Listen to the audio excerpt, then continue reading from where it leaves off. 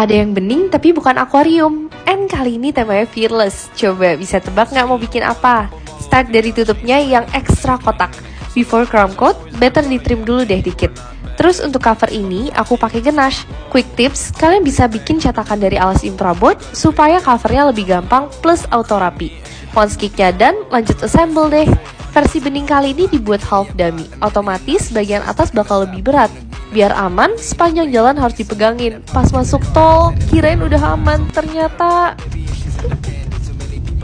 Untung standby bawa peralatan and bahan ekstra, jadi bisa langsung benerin on the spot deh. And tada! Replika Sassy Lipton Cake. Ini tuh cocok banget buat daily wear. Lightweight, transfer proof, and game changer karena ada kolagennya.